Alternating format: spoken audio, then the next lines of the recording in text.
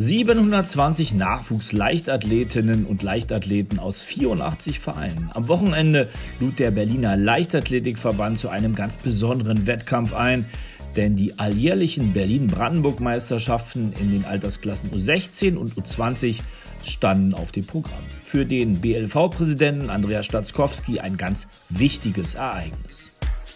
Na, dass natürlich unheimlich viele Athleten aus unheimlich vielen Vereinen äh, hier bei uns sind. 720 Athleten aus äh, 84 Vereinen und das ja nicht nur aus Berlin, sondern auch aus Brandenburg. Äh, das ist äh, eine tolle äh, Breite, die hier erreicht ist und sieht man ja auch. Gut angenommen. Im Stadion ist hier was los. Äh, nicht nur auf der Bahn oder hier auf dem Rasen, sondern eben auch auf den Tribünen und auf den Plätzen. So soll es sein.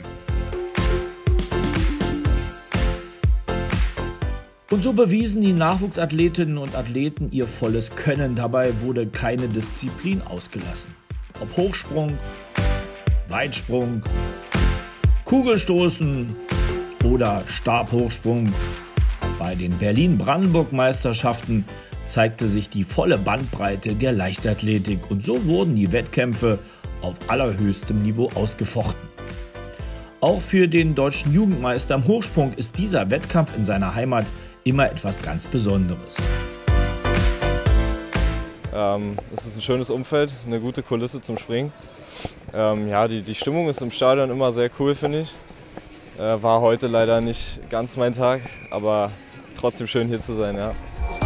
In beiden Altersklassen dieser Berliner und Brandenburger Leichtathletik-Jugendwettkämpfe war für Spannung gesorgt.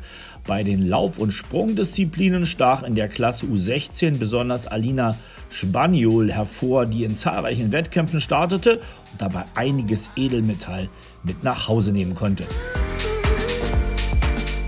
Also es war ein sehr erfolgreiches Wochenende. Äh, ich habe an drei Disziplinen teilgenommen und auch Medaillen, drei Medaillen gewonnen. Und äh, dafür, dass ich gestern Jugendweihe hatte, ist es sehr gut gelaufen.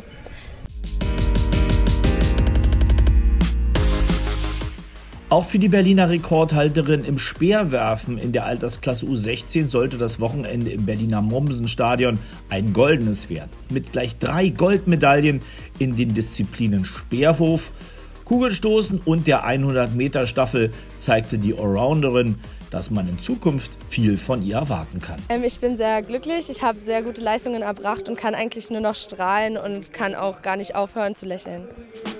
Und auch für Supersprinter und Dauersieger James Adebola stellt der Sieg bei den Berlin-Brandenburg-Meisterschaften natürlich eine Belohnung für hartes Training dar. Er siegte klar im 200-Meter-Finale der Klasse U20 mit einer Bestzeit von unter 20 Sekunden.